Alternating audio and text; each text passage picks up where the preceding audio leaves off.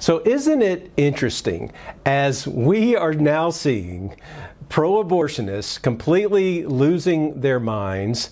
They don't know what to do now that they are on, on the other side of the Supreme Court's decision. Because for 50 years, guess what, friends? We have been the ones who have had to be creative and patient and smart about spreading the pro life message. And nobody does that better than the Southwest Coalition for Life. So, as, as we've seen, the radical abortionists, all, all, they've been able to do since, since actually before Dobbs is to go out and bomb pregnancy centers and you know commit acts of, of vandalism and, and, and riot. Um, so when uh, abortions came to an end in Mississippi. It's the famous Dobbs case, of course. Well, the woman who owned that abortion facility decided she was going to open up a new business in Las Cruces, New Mexico, of all places. Well, that's where Mark Cavaliere and his team and his amazing supporters in New Mexico and Texas decided you know what? We're going to have a little welcome party for them. And that's exactly what they did last night. Incredible turnout. Mark Cavaliere, Mark Cavaliere, I'm sorry, Mark, Mark Cavaliere joins us now um, from New Mexico to, to talk about this. Mark, wow, it looks like you just had a, a, an overwhelming turnout of pro life supporters last night on the very spot where they want to be performing abortions. That's correct. Yeah. Thank, thank you, Jim, for highlighting this. Um, you know, the state of New Mexico, uh, abortion remains completely unregulated up to the moment of delivery uh, for any reason, even minors without parental consent. And uh, so we have been getting overrun. It's it's uh, it's just as bad as North Korea and China. Um, yep. And since the Dobbs decision, it seems like every few days we're learning about a new abortion business that is uh, fleeing uh, to New Mexico because they're going to be able to continue without any medical oversight. And so we're going from five or six uh, abortion facilities in the state across the state of New Mexico to tripling that number, possibly quadrupling it. Anywhere from 15 is now rumors of even possibly over 20 uh, over the years to come of abortion businesses relocating here, including, of course, this infamous, uh, you know, Jackson Women's Health Organization, now renamed the Las Cruces Women's Health Organization, which the, the name Las Cruces means the crosses, the city of the crosses.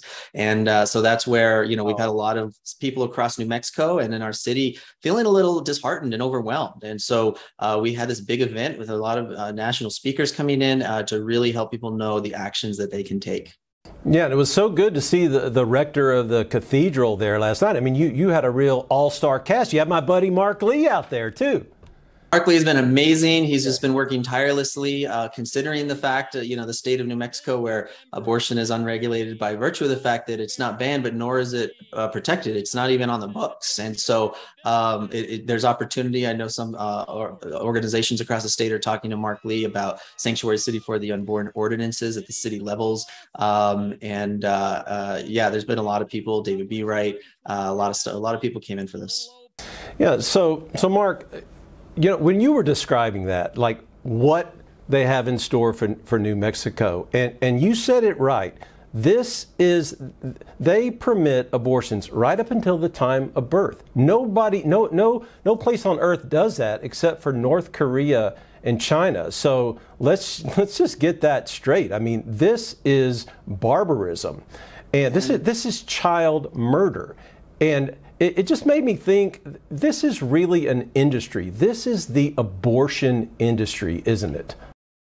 Oh yeah, and and what we're seeing is that you know, as often is the case with uh, more scandalous type industries, uh, they flee to where there's no regulations and no health oversight. And and not only is this all you know obviously uh, an injustice against children, but it's been an egregious injustice against women uh, who really now are being funneled into New Mexico already just in the last year since the Texas heartbeat law has been in effect, and it's it's expected now to even increase further. Uh, we're at a point where three out of every four abortions in New Mexico are being performed on out of state uh, uh, uh, women who are coming in and being, uh, you know, now there's corporations that are sending women in uh, for abortions so that uh, they can continue to be more, you know, utilized for the, you know, more productive employees. Um, and and and what we're seeing is even the leadership, the you know, government in New Mexico is kind of promoting what's becoming a, a sense of abortion tourism to travel people in across the state for totally unregulated abortions. Mark, uh, what what can be done about this? I, I know that uh, you know Mark Lee Dickson has has talked about you know sort of the, the Texas law that, that is is on the books and, and trying to to make this a law which would allow actually a citizen of Texas, I guess, or New Mexico even, to sue the the, the provider. Right. So there are conversations happening um, on that front, and there, there's multiple things that need to be happening. Uh, similar to how the last 50 years we've had multiple, uh, you know, approaches to overturning Roe, from uh, legislative to uh, charitable to you know to prayer and all of that.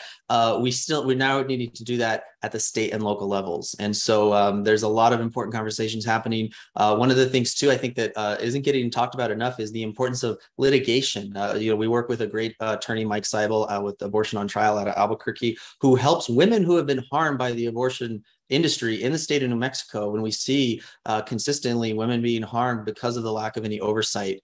Um, and, and those are the cases that help to expose uh, the injustices, the really the, what I call the reproductive injustice that is happening against women in New Mexico and from across the country coming to New Mexico. Uh, so yeah, there's a lot of things. And then, and then, you know, my organization, we're coming in uh, to offer really a, a, kind of a, a, authentic definition of what women's healthcare is. Uh, that you know they're calling themselves the Women's Health Organization, uh, but we're just here to say you know abortion is not healthcare. Uh, no woman should be in a position to feel that you know being told or expected to alter, suppress, and destroy the normal healthy functions of her natural body in order to achieve her goals. And that we don't we don't reject that. I mean we reject that as a definition of healthcare and we want to be right next door to offer uh, you know an authentic whole person approach to care. Yes, and well, tell, tell me about uh, the the pregnancy resource centers there in in Las Cruces and and the work that they are doing, Mark. We, we have a, some amazing pregnancy centers in Las Cruces. Uh, there's been two uh, centers, CareNet and uh, Turning Point in Las Cruces, who've been really holding the front line um, and just seeing a huge increase of women uh, that, uh, you know, coming in and, and uh, almost more than we can handle. And so we're needing we need more support right now. We're needing more organizations. We need to outnumber uh, the abortion facilities, you know, two to one, five to one, um, and th- that's a challenge right now because they're coming in by the droves. And so uh, we're coming in uh, to to offer similar support in in working with uh, you know other organizations in the community uh, with Guiding Star Center, which is it goes even beyond just that initial pregnancy intervention help, but uh, really to say, you know, can we can we do more to help women even after she chooses life so that she's not going back out to the same secular medical system that is broken is, and got her into that situation in the first place. You know, there's a healthcare system that's telling women their fertility is a disease to be suppressed, that pregnancy is like a tumor or a commodity, that childbirth is to be feared, lactation, uh, you know, breastfeeding a lot of times is seen as a burden and inconvenience. So we're we're working right now to bring in lactation consultants and doulas and midwives um, and all those types of professionals that can actually walk with a woman. And you know, our, our medical director is an OBGYN uh, to, to not just help her embrace life, but actually help her through that process of childbirth and motherhood. Well, right. And, and Mark, you know, these, these women are so spiritually broken a, as well, and, and healing needs to take place.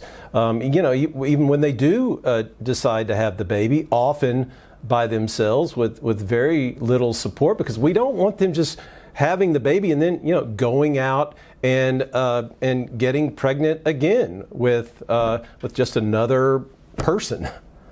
And you know that that's a consequence of the culture of Roe versus Wade for the last 50 years. That instead of actually uh, trying to make a society more accommodating to women has been telling women that you know they've been the ones for 50 years telling women what to do with their bodies saying that you know you need yeah. should subject yourselves to these uh, really traumatic chemical abortion uh, pills and these invasive surgeries in order to be successful. And as a consequence of men uh, you know being told they can basically use abuse and objectify women uh, essentially for sex without consequence. And and you know w- that that what you just described is a consequence of the roe versus wade culture. So this is an opportunity, I think, for us to be there where there's a lot of misinformation and confusion right now of the state of women's healthcare uh, to, to, to help define what that is in a way that actually respects women when the other side can't even define what a woman is. Yeah.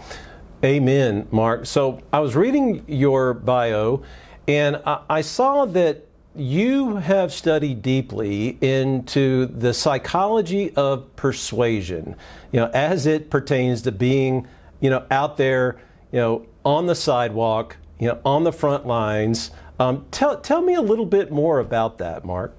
Yeah, so we uh, we through our Coalition for Life, we uh, have a program called Her Care Connection. It's a very woman oriented focus, and what we've found is is rather than uh, trying to talk someone out of a commitment that they've made, uh, it's better to just help them create a new, better commitment. Um, so when we have our outreach program, we have young adults as outreach interns. Um, and they reach out in a, a very uh, professional way with uniform, you know, as as saying, you know, we're here with a nonprofit referral program to get connect you with free healthcare. Not a lot of people know about, um, and we help them to realize that, uh, you know, to make a new commitment to exploring this. Uh, we don't really uh, we, we don't want to come across as a threat to uh, to the hope that she has in you know so abortion possibly being a solution to her crisis. Um, instead, we just say, here's what we have to offer, you know, and let, let's get you in and talk about this and make that new commitment. And we found that to be uh, we, we've had a you know higher number of uh, women coming in to seek that information when we're not just out there, you know, kind of uh, telling them what not to do. We're instead we're inviting, inviting right. Uh, into something, into something new. new. Mark, how many women do you like? Uh, this would be hard to ever quantify, I guess, but how many women do you think are, are truly on the fence about having that abortion? in our experience, most of the women going in uh, who feel they have no choice but abortion are not pro-choice. Um, some, you know, sometimes they've never really thought about the issue. Sometimes they're even more pro-life. They just suddenly are scared. They're in a situation where they're feeling hopeless, where everyone in their life has been telling them what they can't do, what they cannot do. They, you know, you cannot be successful right now and be a mom. You cannot finish school right now and do this. Um, and and you know, employers now and, and media, uh, you know, they're all saying, you know, oh, just fly to New Mexico and have an abortion so you can uh, you know be a more productive employee for us and to trying to normalize all that and so most women are really just feeling very overwhelmed with the pressure and are very grateful to hear it. it's it's a it's a pretty small minority uh, who have the loudest voice usually who are the ones kind of championing this thing as as this right that they're celebrating. Um, the reality is most women are you know they, they just they're they're really scared. And uh, we need to recognize that too that uh, usually and even John Paul II um, in in uh, his his uh, letter to women uh, recognized recognize that usually, uh, you know, the the one who's at fault behind an abortion is usually the man who has failed her who has mm. failed to step up as a consequence of this Roe versus Wade mentality. And so, you know, we're not we're not there to shame or judge. You know, she's been a victim of this, and if she says no, uh, to an abortion in the face of this billion dollar abortion corporation and this Roe versus Wade mentality that's been telling her to alter and destroy part of her body. She is the hero in that story. In that story, we're not going to take that away from her. You know, we we don't. We're just there as the sidekicks to kind of you know give her some information to help her make a right decision. Um, but you know that we really celebrate moms being the heroes. We don't. We're not out to count babies saved and things like that. We're here to count how many women have we been able to help. Oh, Mark, the, the work you're doing is, is so impressive. Um, so tell me, is is there any hope for New Mexico uh, to to to uh, to have a Virginia in New Mexico? You know, we finally turned the tables on the the Democrats and the radical abortion LGBT agenda in Virginia. I mean, is is New Mexico just a lost cause um, electorally? Uh, so I, I, I put more hope in the people of New Mexico right now. Um, Uh, they do have a supermajority in the courts and the legislature uh, that are, you know, want to protect abortion as this tourist, you know, attraction for the state of New Mexico. Um, but the people of New Mexico are starting to stand up and say enough is enough, and we're going to come. You know, we're we're going to do this. You know, with or without uh, the support of the state. We actually saw this in Las Cruces. The reason we our organization started seven years ago was in response to a separate abortion center that opened there, um, and after two years they closed uh, citing uh, financial trouble for suddenly not getting enough patients. Again, this is in the state with no, you know, no abortion restrictions that they had been celebrating because they're just in it for the the the, the profit. They're just in it for the bottom dollar. So if if we can help uh, you know, most businesses operate on about a 30% overhead. So if we can help even one out of every three women who are going in uh, feeling that they have no other uh, option but an abortion, you know, that, that could be enough uh, to, to cut into the profit incentives uh, for these abortion corporations that that's all they're in it for. We're doing this, you know, we, we never financially benefit from any decision a woman makes. Um, and so that's what we need to see more of in New Mexico. That's right. Abortion is, is big business. They're not making any money with their, uh, you know, other services that they claim to offer. I mean, that's what this is all about. And good for you, Mark. Good for you. I mean, you've got a track record. Let's just hope and pray that this child murder facility gets shut down. I mean, that that's that's that's a great strategy right there, right? Is to just to get these places closed down. You know, I'm kind of interested too that I mean the fact that there's going to be so many abortion providers flocking in New Mexico, they're they're you know to the what extent are they going to be competing against each other, you know, and, and kind of working against each other. Um, so, you know, it's an interesting thing. So yes, pray for New Mexico. I don't think it's a lost cause. There's a lot of good people here. Um, and, you know, while our politics are determined by Santa Fe and Albuquerque, the rest of the state is saying we recognize we need to do more at the city level, at the local level, at the, you know, through our churches, through our people to, yep. to help women. Um, and, you know, uh, you know, at our city gate, uh, you know, as scripture tells us and, and say, you know, we're, we're, we're going to not stand for this uh, as a city, as communities. And, um, uh, so it's going to be very interesting. You know, even after I, I point out, you know, the the the, uh, Supreme Court, you know, they've made mistakes in the past with Dred Scott. You know, they said, "quote The Negro is not a human being," uh, and when they corrected themselves, it took decades for the rest of the country to catch up. You know, there were many states that continued uh, that old antiquated mentality uh, up until the 1960s, and even you know, we still feel the effects of that today.